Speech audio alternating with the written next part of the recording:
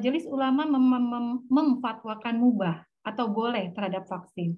Mengapa pemerintah menjadikannya wajib atau mandatori?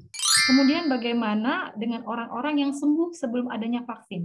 Apakah metode pengobatan tersebut tidak ditelusuri atau dipelajari lebih lanjut? Begitu pertanyaannya, dokter? Iya. Sebenarnya tidak ada yang berbeda antara fatwa MUI dengan uh, fatwa uh, mubah ya. Uh, kita mewajibkan, uh, tetapi kemudian kita lihat. Saya ingin mungkin share sedikit Ya. Ini sebenarnya apa yang pernah disampaikan ya, ya. mengenai AstraZeneca ya. Memang mubah, tapi tetap boleh digunakan karena tadi kondisi kebutuhan yang mendesak dan darurat ya. Ketersediaan yang halal dan suci tidak mencukupi, jaminan keamanan. Pemerintah tidak memiliki keleluasaan. Sehingga pemerintah mengatakan apa pun jenis vaksinnya, segera gunakan vaksin yang ada karena kita tidak memiliki keleluasaan untuk memilih jenis vaksin.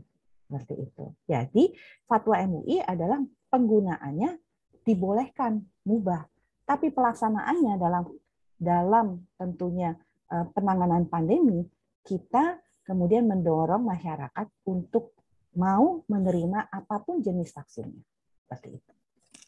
Ya, terima kasih dokter. Cukup jelas. Pertanyaannya, ya, pertanyaan saya mungkin Iya. Bagaimana ya. yang yang tadi nanya itu ya, boleh ya, Mbak ya. Saya ingin bertanya, bagaimana sikap Anda terhadap ketentuan Arab Saudi yang kemudian membuat vaksin AstraZeneca, Pfizer yang sebenarnya uh, Pfizer mungkin uh, halal, saya lupa, tapi setidaknya AstraZeneca deh. AstraZeneca itu uh, vaksin yang diterima di Arab Saudi. Sementara itu adalah mubah. Sementara Sinovac di awal mereka tidak mau terima. Gimana pandangannya? Justru sekarang balik nanya nih saya. Silakan di kolom kita berdiskusi. Seru ini ya Bu Dokter ya memang. Bahkan ini ada satu di kolom chat mungkin panitia bisa scroll sedikit kolom chatnya ini sampai ada. Uh, Ibu Emilda, Ibu Emilda. Ya Bapak Kiai, silakan. Saya tambahkan dikit tadi terkait dengan hukum mubah dan hukum wajib ya. Oke, silakan Pak Kiai, mangga. Saya kira perlu dibedakan antara hukum taklifi hukum syari dan hukum negara ya.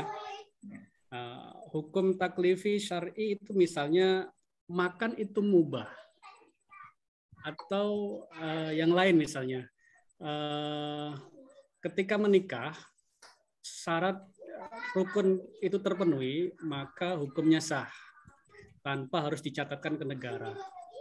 Tetapi kita punya undang-undang tentang pernikahan bahwa mencatatkan pernikahan itu hukumnya wajib ya. Nah, saya kira harus kita bedakan antara hukum-hukum agama dengan hukum negara.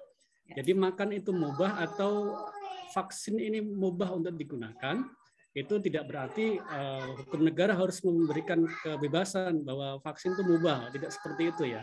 Nah, antara hukum negara dengan hukum hukum agama tentu harus dibedakan di sini. Demikian Bu Dona.